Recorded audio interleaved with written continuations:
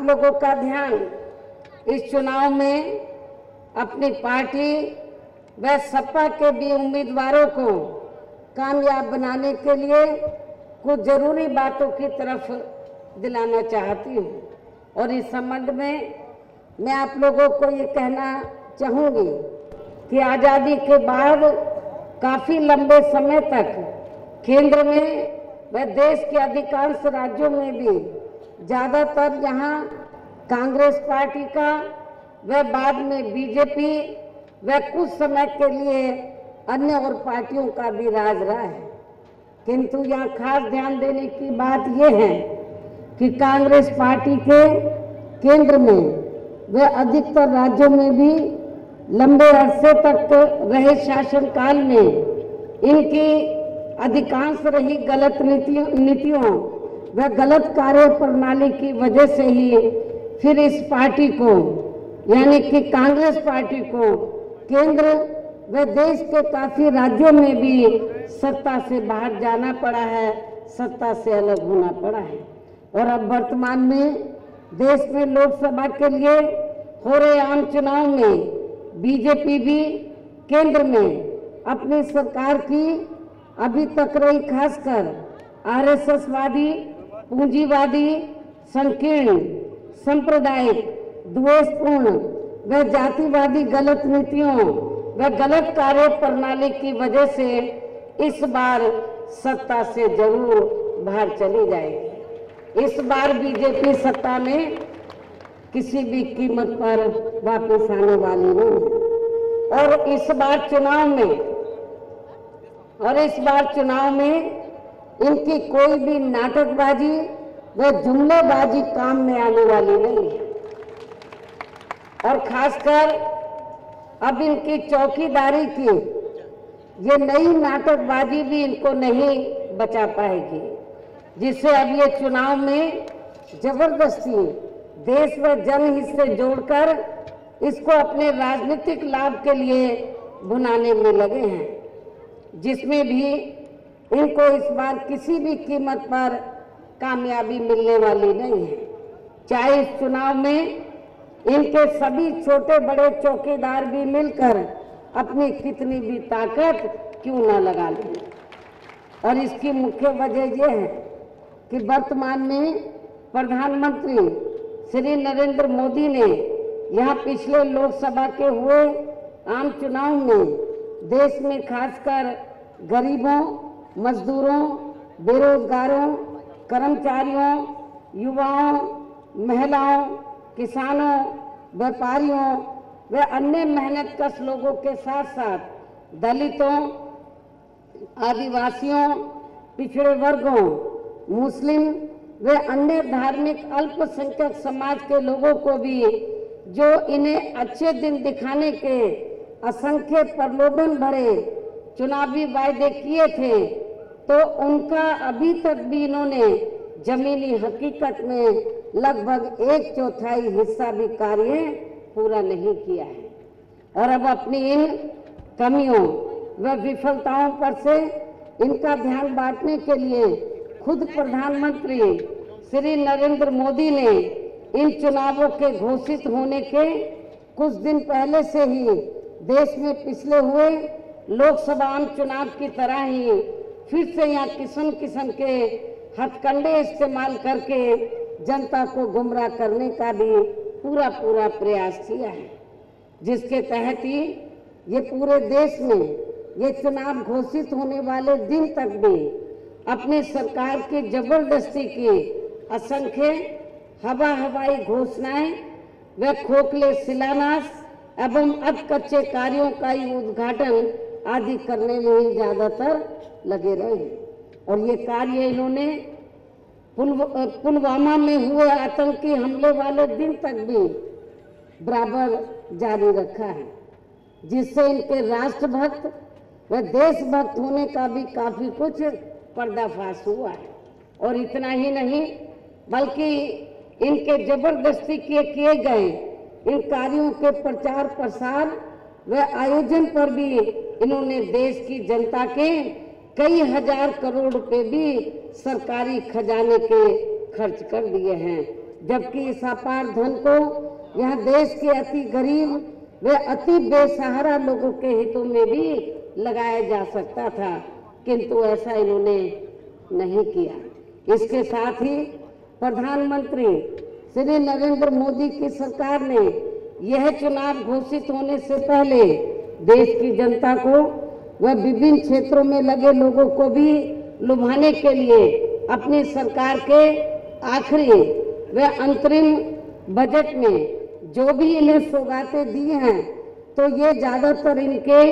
इनकी अपने राजनीतिक लाभ के लिए दी गई। केवल मात्र हवा हवाई व खोखली चुनावी सौगाते हैं, इसके सिवाय कुछ भी नहीं है। जबकि यहाँ विशेषकर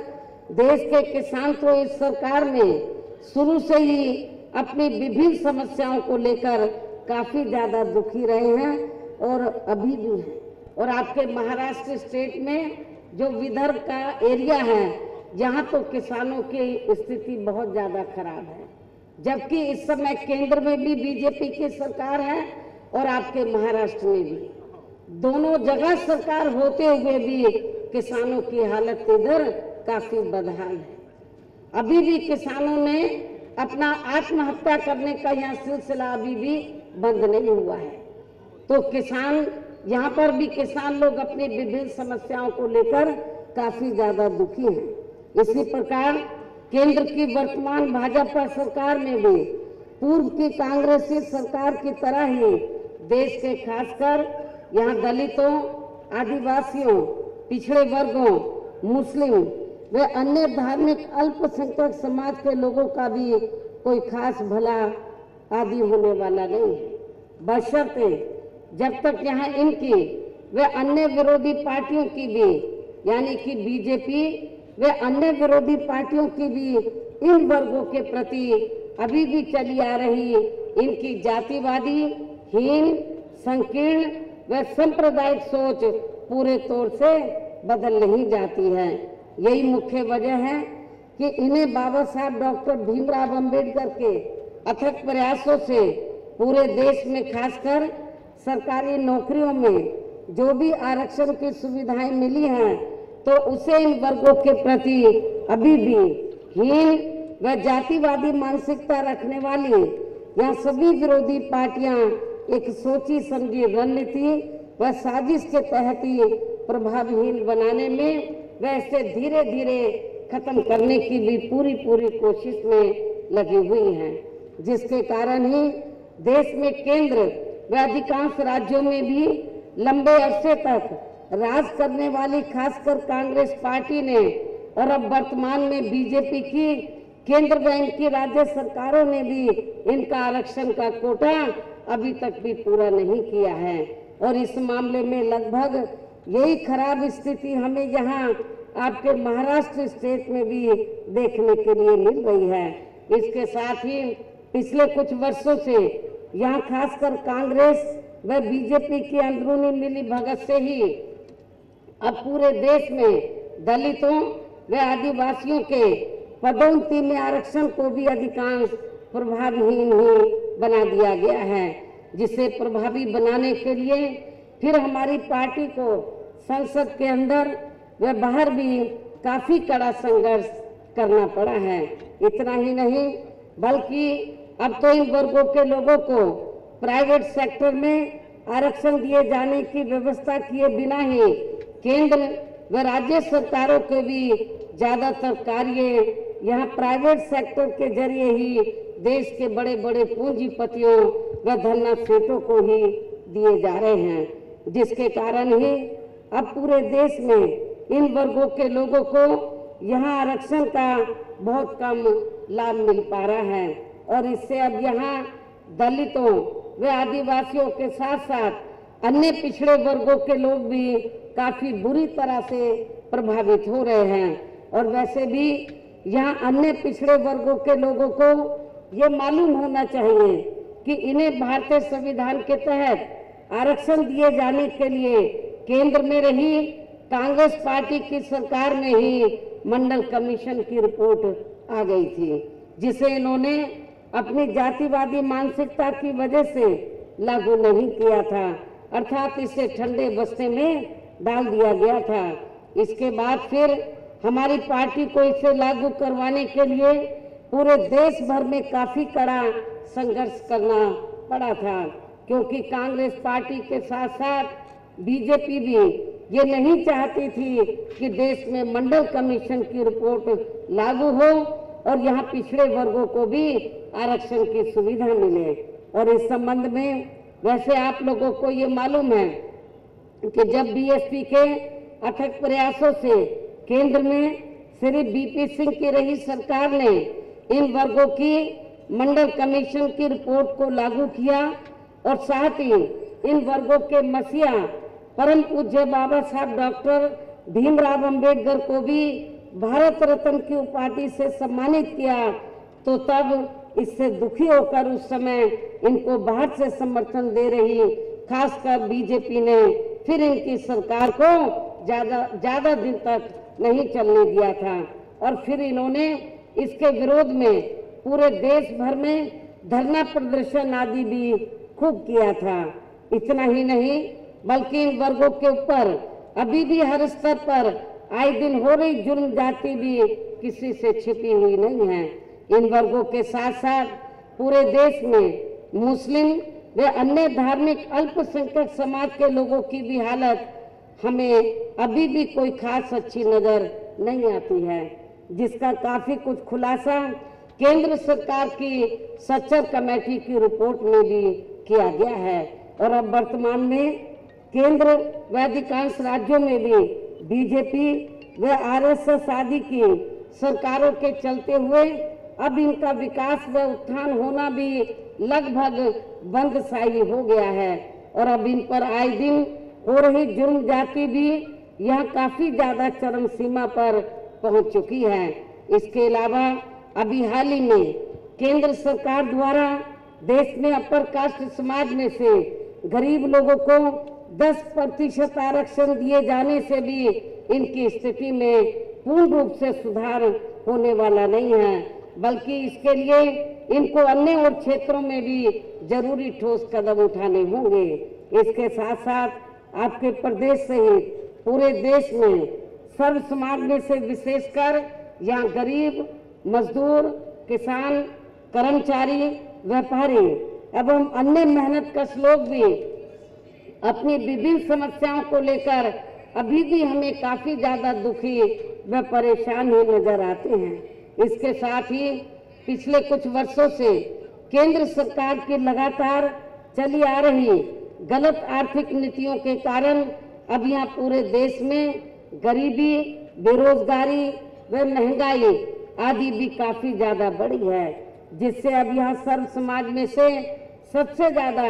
गरीब मेहनत कश एवं मध्यम वर्गीय लोग ही काफ़ी बुरी तरह से प्रभावित हो रहे हैं। इतना ही नहीं, बल्कि केंद्र की वर्तमान भाजपा सरकार ने इनकी बिना पूरी तैयारी के ही खासकर नोटबंदी व जीएसटी को लागू करने के, इनके लिए गए इस फैसले से तो अभी भी यहाँ देश में गरीब व आम जनता तथा मध्यम वर्गीय कारोबारी लोग बहुत ज़्यादा दुखी हैं। और इससे अब देश की अर्थव्यवस्था पर भी काफ़ी बुरा प्रभाव पड़ रहा है, जिससे अब यहाँ गरीबी, बेरोजगारी, महँगाई व अनेक और गंभीर समस्याएँ भी काफ़ी ज़्यादा उत्पन्न हो गई हैं। इसके अलावा पिछले कुछ वर्षों से अपने देश में हर स्तर पर यहाँ भ्रष्टाचार भी काफ़ी ज़्यादा बढ़ा है। और इतना ही नहीं, बल्कि इससे अब यहाँ रक्षा सौदे तक भी अछूते नहीं रहे हैं। और इसको लेकर कांग्रेसी सरकार में बोफोर्स का मामला और अब बीजेपी की सरकार में राफेल का मामला भी इस बात का खास सबूत है। इसके अलावा केंद्र की वर्तमान सरकार में भी अपने देश की सीमाएँ अभी भी पूरे तौर से सुरक्षित नहीं है, जिसकी वजह से अभी तक यहाँ आतंकी हमलों में काफ़ी ज़्यादा जाने माली नुकसान भी हो चुका है। इस प्रकार से अपनी ऐसी खराब स्थिति को देखते हुए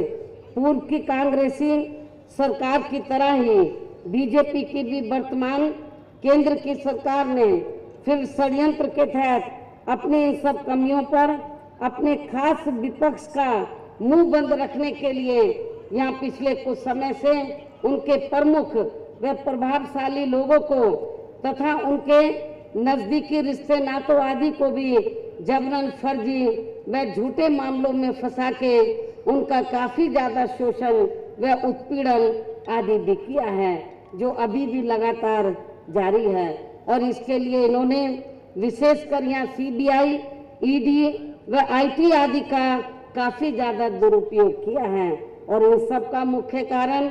हमारी पार्टी आज़ादी के बाद से लेकर अब तक केंद्र व देश के अधिकांश राज्यों में भी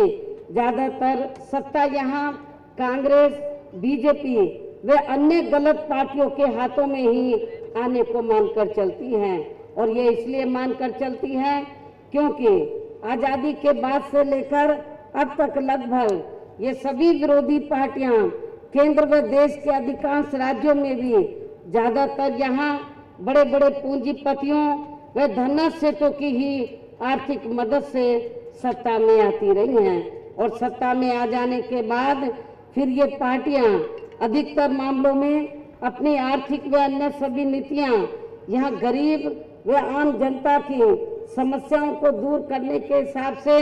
तैयार नहीं करती हैं, बल्कि देश के उन बड़े बड़े पूंजीपतियों व धन्ना सेठों को ही फ़ायदा पहुँचाने के हिसाब से ही अपनी अधिकांश नीतियाँ तैयार करती हैं। जिनके धन व बल से चुनाव लड़कर ज़्यादातर ये पार्टियाँ केंद्र व राज्यों में तथा यहाँ के खुद के अपने प्रदेश में भी अभी तक यहाँ सत्ता में आती रही हैं, जिसके कारण ही अब पूरे देश में वे आपके खुद के अपने प्रदेश में भी अभी भी हमें यहाँ सर्व समाज के लोग अधिकांश मामलों में अपनी विभिन्न समस्याओं को लेकर काफ़ी ज़्यादा दुखी व परेशानी नज़र आते हैं। जबकि पूरे देश में बहुजन समाज पार्टी ही अकेली एक ऐसी पार्टी है जो विरोधी पार्टियों की तरह देश के बड़े बड़े पूंजीपतियों व धन्ना सेठों की आर्थिक मदद से नहीं, बल्कि अपनी पार्टी के ही आम कार्यकर्ताओं की आर्थिक मदद से चुनाव लड़कर यहाँ केंद्र व राज्यों की सत्ता में आना चाहती है, ताकि हमारी पार्टी सत्ता में आने के बाद फिर बिना किसी दबाव के वे आज़ाद होकर यहाँ सर्व समाज के लोगों की सभी समस्याओं का समाधान करके उन्हें हर मामले में वे हर स्तर पर खुशहाल बना सके। और इसी आधार पर चलकर आबादी के हिसाब से देश के सबसे बड़े प्रदेश अर्थात उत्तर प्रदेश में चार बार हमारी पार्टी ने अपने नेतृत्व में वह सरकार बनाई है। और हमने अपनी सभी चारों रही सरकारों में अपनी पार्टी की विचारधारा एवं सिद्धांतों के तहत चलकर वैसे तो वहाँ सर्व समाज के हितों का पूरा पूरा ध्यान रखा है, लेकिन सभी मामलों में प्राथमिकता पहले हमने वहाँ सर्व समाज में से विशेषकर उन शोषित, पीड़ित व उपेक्षित समाज के लोगों को ही दिया है, जिनके हर मामले में वह हर स्तर पर वह सभी विरोधी पार्टियों की रही सरकारों में उनकी जातिवादी, संकीर्ण व सांप्रदायिक सोच होने की वजह से काफ़ी ज़्यादा उपेक्षा की गई थी। इसके साथ साथ हमारी रही सरकार ने वहाँ सभी वर्गों व विभिन्न क्षेत्रों में लगे लोगों के हितों में भी अनेकों महत्वपूर्ण व ऐतिहासिक कार्य किए हैं, जिनसे जिनसे उन्हें काफ़ी ज़्यादा लाभ पहुँचा है। इसके साथ ही हमने उत्तर प्रदेश में वहाँ गरीब एवं बेरोजगार लोगों को बेरोजगारी भत्ता न देकर उन्हें बड़ी तादाद में सरकारी एवं गैर सरकारी क्षेत्रों में स्थायी रोज़गार भी उपलब्ध कराए हैं। इसके साथ साथ हमारी रही सरकार ने वहाँ सर्व समाज के लोगों के ऊपर किसी भी प्रकार की कोई जुर्म, जाति आदि भी नहीं होने दी है। और इस मामले में हमने वहाँ जुर्म जाति करने वाले लोगों को बिना कोई देरी किए हुए उन्हें तुरंत ही जेल की सलाखों के अंदर भेजा है, जहाँ मेरी सरकार में उनकी सही व असली जगह होती है। इसके अलावा हमारी रही सरकार ने वहाँ देश में दलित एवं अन्य पिछड़े वर्गों में समय समय पर जन्मे अपने महान संतों, गुरुओं वे महापुरुषों में भी खासकर महात्मा ज्योतिराव फूले, श्री छत्रपति शाहू जी महाराज, श्री नारायणा गुरु, बाबा साहब डॉक्टर भीमराव अंबेडकर एवं मान्यवर श्री कांशीराम जी आदि को भी विभिन्न रूपों में पहली बार वहाँ पूरा पूरा आदर सम्मान दिया है, जिन्हें अभी तक भी वहाँ विरोधी पार्टियों के लोग आसानी से पचा नहीं पा रहे हैं। इस प्रकार से उत्तर प्रदेश में हमारी पार्टी ने अपने चारों रोज शासन काल के दौरान अपनी पार्टी की सर्वजन हिताय व सर्वजन सुखाय की नीतियों के आधार पर चलकर ही वह हर मामले में व हर स्तर पर सर्व समाज के लोगों को काफ़ी बेहतरीन सरकार दी है। और यदि आप लोग भी अपने प्रदेश के साथ साथ पूरे देश में भी ऐसे ही कार्य करना चाहते हैं, अर्थात ऐसा ही वातावरण पैदा करना चाहते हैं तो फिर आपको भी इस समय देश में, लोकसभा के लिए हो रहे आम चुनाव में, यहाँ अपने प्रदेश से भी अपनी पार्टी का ज़रूर अच्छा रिज़ल्ट दिखाना होगा, ताकि फिर हम लोग एक मज़बूत ताकत बनकर,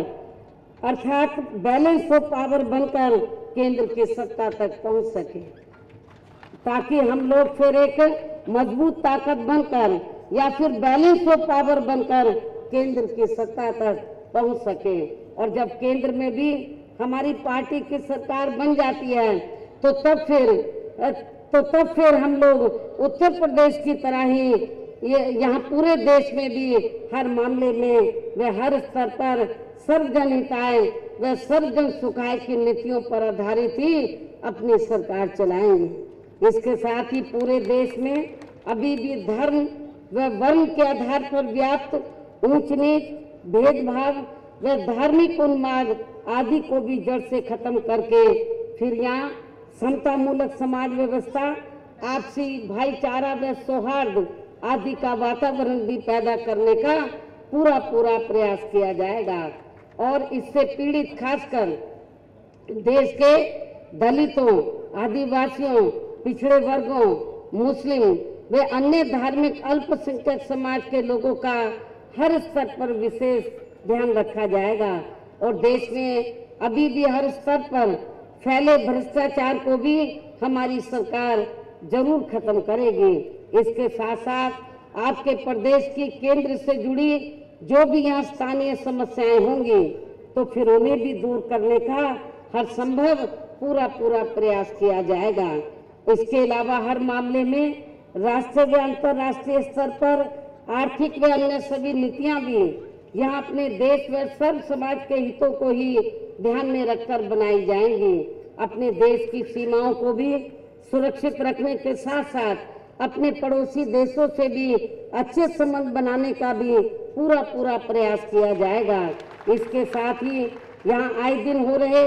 आतंकवादी हमलों को भी रोकने के लिए पूरी शक्ति से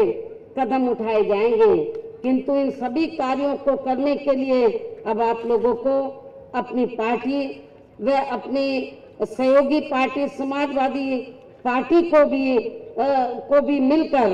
इन दोनों पार्टियों को यहाँ आप लोग आपको महाराष्ट्र स्टेट में मिलकर तो यहाँ से अच्छा रिज़ल्ट दिखाना है। और अन्य राज्यों में भी जब हमारे लोग अच्छा रिज़ल्ट दिखाएँगे और उत्तर प्रदेश में तो पूरी संभावना है कि वहाँ पर समाजवादी पार्टी, बहुजन समाज पार्टी और आर एन डी का गठबंधन हुआ है। और इस गठबंधन से वहाँ पर भारतीय जनता पार्टी और अन्य पार्टियों की नींद उड़ी हुई है। और मैं आपको विश्वास दिलाना चाहती हूँ कि उत्तर प्रदेश में 80 लोकसभा की सीटें हैं। उत्तर प्रदेश में जब रिज़ल्ट आएगा, चौंकाने वाला रिज़ल्ट आएगा और देश का जो मुख्य, देश का जो प्रधानमंत्री है देश का जो प्रधानमंत्री है, आपको मालूम है, ज़्यादातर उत्तर प्रदेश की अहम भूमिका होती है उसको बनाने में। और जब देश का प्रधानमंत्री बनाने की बात आएगी तो उस समय उत्तर प्रदेश का जो हमारा अलायंस हुआ, जो रिज़ल्ट आएगा, ये रिज़ल्ट के ऊपर बहुत कुछ निर्भर करेगा। और उसमें मैं ये चाहूँगी कि जो अन्य राज्य हैं, उनकी भी अहम भूमिका होनी चाहिए। आपका महाराष्ट्र प्रदेश भी इस कार्य में पीछे नहीं रहना चाहिए। आप लोगों को भी यहाँ से अच्छा रिज़ल्ट इस बार दिखाना होगा। और तभी फिर आप लोग, और जब आप लोग केंद्र में, आप आप लोग सत्ता में, आप लोगों को जब तो आप लोग चाहते हैं कि हमारी सभी समस्याओं का समाधान हो, हमारा देश खुशहाल हो, हर प्रकार की समस्याओं का निदान हो तो इसके लिए अब आप लोगों को अपने आप, अपने महाराष्ट्र स्टेट में भी अच्छा रिज़ल्ट लाकर अन्य राज्यों को भी अच्छा रिज़ल्ट लाना होगा। उत्तर प्रदेश तो लाएगा ही। तो आप लोगों को ये अच्छा रिज़ल्ट लाकर केंद्र में आप लोगों को पावर में आना होगा। और इसके लिए अब आप लोगों को वोट पड़ने वाले दिन तक भी यहाँ सभी विरोधी पार्टियों के साम, दाम, दंड भेद आदि हथकंडों से भी ज़रूर सावधान रहना है। और इस संदर्भ में वैसे आप लोगों को ये भी मालूम है कि चुनाव के दौरान अधिकांश यहाँ विरोधी पार्टियाँ अपने अपने पक्ष में हवा बनाने के लिए, खासकर मीडिया व ओपिनियन पोल एवं सर्वे आदि का जो बड़े पैमाने पर इस्तेमाल करती हैं तो उनसे आप लोगों को कतई भी गुमराह नहीं होना है। इसके साथ साथ आप लोगों को पूर्व की तरह, इस चुनाव में भी विरोधी पार्टियों के जारी किए गए, उनके हवा हवाई वे प्रलोभन भरे चुनावी घोषणा पत्रों के बहकावे में भी बिल्कुल नहीं आना है, जिन्हें ये पार्टियाँ चुनाव खत्म होने के बाद ज़्यादातर दर किनारे कर देती हैं। और अब जिन पर से देश की जनता का अधिकांश विश्वास ही उठता जा रहा है, जिसकी खास वजह से ही हमारी पार्टी दूसरी पार्टियों की तरह या किसी भी चुनाव में अपना कोई भी चुनावी घोषणा पत्र आदि जारी नहीं करती है। और वैसे भी हमारी पार्टी कहने में बहुत कम और कार्य करके दिखाने में ही ज़्यादा विश्वास रखती है। और इस संदर्भ में मैं खासकर बीजेपी व कांग्रेस पार्टी के बारे में, यानी कि चुनावी घोषणा पत्र जब ये लोग जारी करते हैं, खासकर बीजेपी और कांग्रेस पार्टी तो बड़ी बड़ी बातें ये लोग करते हैं। कि हम लोग पावर में आ गए हम ये ये करेंगे। और प्रलोभन भरे वायदे अपने चुनावी घोषणा पत्र में ये लोग करते हैं। तो इस संदर्भ में मैं खास कर तो बीजेपी व कांग्रेस पार्टी के बारे में ये कहना चाहूँगी कि बीजेपी ने देश में पिछले लोकसभा के हुए आम चुनाव में अपने जारी किए गए चुनावी घोषणा पत्र में, यहाँ केंद्र में अपनी सरकार, यहाँ केंद्र में अपनी सरकार बनने पर देश की जनता को जो अच्छे दिन दिखाने के असंख्य प्रलोभन भरे चुनावी वायदे किए थे तो उनके अब ये चुनावी वायदे, जो पिछले लोकसभा आम चुनाव में बीजेपी एंड कंपनी के लोगों ने जो बढ़िया बढ़िया प्रलोभन भरे, जो उन्होंने चुनावी वायदे किए थे तो इनके अब ये चुनावी वायदे केंद्र में पूर्व की रही कांग्रेसी सरकार की तरह ही अधिकांश यहाँ हवा हवाई व खोखले ही साबित हुए और इनका विशेषकर देश के हर गरीब व्यक्ति को 15 से 20 लाख रुपए के हिसाब से देने का ये वायदा भी अब यहाँ पूरी तरह से गरीबों के लिए एक मज़ाक सा ही बन के रह गया है। इसके साथ ही इस पार्टी का सबका साथ व सबका विकास की भी कही गई ये बात भी केवल यहाँ एक जुमलेबाजी ही बनकर रह गई है। और इतना ही नहीं, बल्कि अब इस चुनाव में इसी प्रकार के प्रलोभन भरे वे हवा हवाई चुनावी वायदे कांग्रेस पार्टी भी कर रही है। इस मामले में कांग्रेस पार्टी भी इस बार कोई पीछे नहीं है। जिनको भी इस मामले में पूर्व में या आपके प्रदेश सहित पूरे देश की जनता काफ़ी वर्षों तक अजमा चुकी है। यानी कि कांग्रेस पार्टी को भी तो इस मामले में, चुनावी घोषणा पत्र के मामले में या आपके प्रदेश सहित पूरे देश की जनता काफ़ी वर्षों तक अजमा चुकी है। जिसकी खास वजह से ही अब ये कांग्रेस पार्टी केंद्र के साथ साथ काफ़ी राज्यों की भी सत्ता से बाहर हो चुकी है। और अब फिर से इस चुनाव में इन्होंने, खासकर यानी कि कांग्रेस पार्टी ने इस चुनाव में खासकर गरीबों के वोटों को लुभाने के लिए अपनी पार्टी के घोषित न्यूनतम आय योजना के ज़रिए देश के लगभग 20 प्रतिशत अति गरीब परिवारों को हर महीने छह हज़ार रुपए के हिसाब से हर साल बहत्तर हज़ार रुपये देने की जो बात कही है तो इससे तो इससे इनको, यानी कि गरीबों को ये कोई स्थायी मदद मिलने वाली नहीं है। ये कोई ये जो इन्होंने ऐलान किया है तो इससे यहाँ गरीबों को यहाँ कोई स्थायी मदद मिलने वाली नहीं है, क्योंकि केंद्र व राज्यों में वैसे भी हर पाँच वर्ष में यहाँ अधिकांश सत्ता परिवर्तन ही होते रहते हैं। जिसे खास ध्यान में रखकर ही हमारा इस मामले में ये कहना है कि यदि केंद्र में हमें सरकार बनाने का मौका मिलता है तो फिर हमारी सरकार यहाँ देश में अति गरीब परिवारों को हर महीने छह हज़ार रुपये देने की बजाय उन्हें सरकारी व गैर सरकारी क्षेत्रों में स्थायी रोज़गार देने की ही व्यवस्था करें। और वैसे भी बीएसपी की सोच व नीति के मुताबिक ये जटिल समस्या, ये जटिल समस्या यानी कि गरीबी को दूर करने की समस्या यहाँ हर हाथ को काम देने से ही दूर हो सकती है। इसलिए बीजेपी की तरह इनके भी इस हवा हवाई वायदे के बहकावे में यहाँ गरीब लोगों को कतई भी नहीं आना है। इन्हीं ज़रूरी बातों के साथ ही अब मेरा यही कहना है कि आप लोगों को अपने खुद के, वे अपने प्रदेश के यानी कि अपने महाराष्ट्र स्टेट के तथा पूरे देश के भी हित में अपने वोटों को, इन सभी विरोधी पार्टियों को न देकर केवल यहाँ अपनी एकमात्र हितैषी बहुजन समाज पार्टी, वे अपने गठबंधन की यहाँ समाजवादी पार्टी को ही देना है, जो ये केंद्र यहाँ आपके प्रदेश में भी अपनी सरकार बनने पर फिर यहाँ आपके प्रदेश सहित पूरे देश में अपनी यहाँ सर्वजन हिताय व सर्वजन सुखाय की सुखाय पर आधारित ही सरकार चलाएगी। और तभी फिर यहाँ हमारे महान संतों, गुरुओं व महापुरुषों आदि का भी अधूरा रहा सपना ज़रूर साकार हो सकता है। और आप लोगों को ये मालूम है कि बाबा साहब डॉक्टर अंबेडकर की आज ये जो महाराष्ट्र स्टेट है, ये कर्म भूमि रही है। और बाबा साहब डॉक्टर अंबेडकर के देहांत के बाद ये इत्तेफाक ही कि मान्यवर श्री कांशीराम जी की भी यही अधिकांश कर्म भूमि रही है। तो बाबा साहब, डॉक्टर अंबेडकर ने तो भारतीय संविधान में आप लोगों को ज़िंदगी के हर पहलू में आगे बढ़ने के लिए और इसके साथ साथ जो जो विकास कर वीकर सेक्शन के लोगों को और जो धार्मिक अल्पसंख्यक समाज के लोग हैं मुस्लिम व अन्य अखिलेश समाज के जो लोग हैं तो इन लोगों का जान माल व मदद सुरक्षित रहे। तो इसके लिए जो धर्म निरपेक्षता के आधार पर उन्होंने जो देश का संविधान बनाया आइन तैयार किया, मैं समझती हूँ। तो ये आज जो अपने देश में जो थोड़े घने,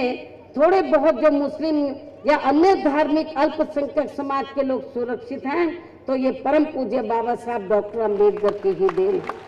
वरना यहाँ पर वर्तमान में जो बीजेपी पावर में है और जो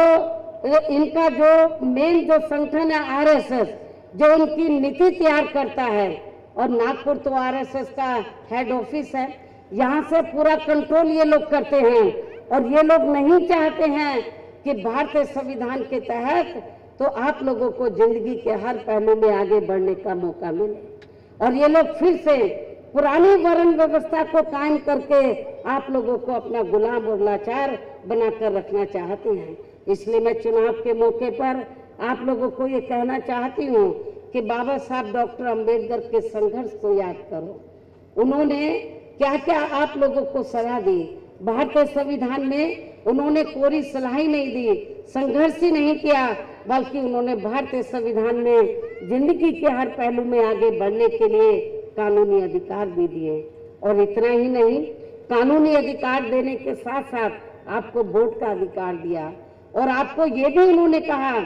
कि आप लोगों को मैंने कानूनी अधिकार तो दे दिए हैं, यदि आप लोग सही मायने में इसका पूरा फ़ायदा उठाना चाहते हैं तो आप लोगों को केंद्र और राज्यों में राजनीतिक सत्ता की मास्टर चाबी खुद अपने हाथों में लेनी होगी। इसलिए मेरा आप लोगों से यही कहना है यदि आप लोग आपस में भाईचारा पैदा कर लें और आप लोग संगठित हो जाएँ तो आप लोग अपने आप में बहुत बड़ी ताकत है। दलित हैं, आदिवासी हैं, पिछड़े वर्ग के लोग हैं, मुस्लिम हैं, अन्य अकलियत समाज के लोग हैं, अपर कास्ट समाज में से गरीब लोग हैं, किसान हैं, मजदूर हैं, छोटे व्यापारी हैं, बेरोजगार लोग हैं, ये सब दुखी और पीड़ित लोग हैं। यदि आप लोग आपस में आप लोग भाईचारे के आधार पर संगठित हो जाते हैं तो मैं समझती हूँ कि आज़ादी के बाद से लेकर अब तक यहाँ पर वर्षों बीत चुके हैं। केंद्र और राज्यों में विभिन्न पार्टियों की सरकारें रही हैं,